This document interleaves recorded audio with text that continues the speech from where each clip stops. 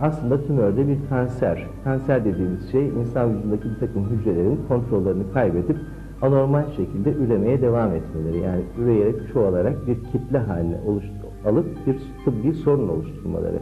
Vücudun her yerinde görebiliyoruz. İşte karaciğerde, akciğerde, kolunuzda, bacağınızda çeşitli kanserler, tümörler olabiliyor.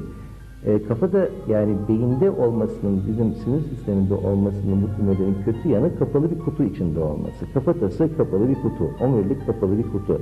Bunun içinde tümör olduğu zaman tümör genişlemeye çalışırken orada düşünmekte olan insanın bütün işlevlerini sürdürmesini sağlayan beyni eziyor ve kendine zarar veriyor. O yüzden de bunlar çok önem taşıyan tümörler.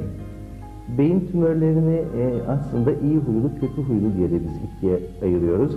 İyi huylu tümörlerden kastettiklerimiz vücudun başka bir yerine atlamayan, bir kere ameliyatta çıkardığımız zaman bir daha tekrarlamayan, tamamen tedavi edebildiğimiz tümörler.